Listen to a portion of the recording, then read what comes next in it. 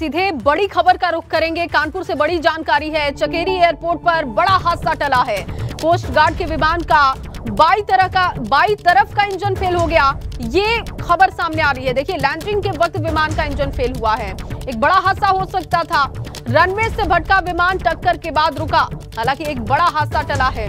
Runway से भटक गया था, लेकिन अच्छी खबर ये है कि एक बड़ा हादसा टला है। चकेरी एयरपोर्ट का ये मामला बताया जा रहा है। देखिए, हम तस्वीरें भी आपको दिखा रहे हैं। यही वो विमान है जिसका बाई तरफ़ का इंजन फेल हो गया।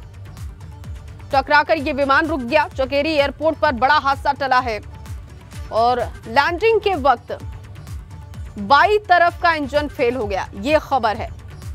ये देखिए, रनवे की तस्वीरें आपको दिखा रहे एक्सक्लूसिव तस्वीरें। एबीपी गंगा पर आप देख रहे हैं।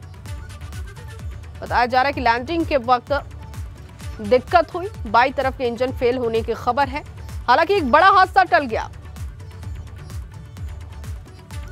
और ये देखिए, लैंडिंग के वक्त की ये तस्वीरें। और कैसे टकराया ये विमान? आपने देखा, देखिए किस तरीके से विमान टकराया। बताया जा रहा है कि बाई तरफ़ का इंजन इसका फेल हुआ था। इस वजह से ये दिक्कत हुई लैंडिंग के वक्त। हालाँकि एक बड़ा हादसा टल गया है।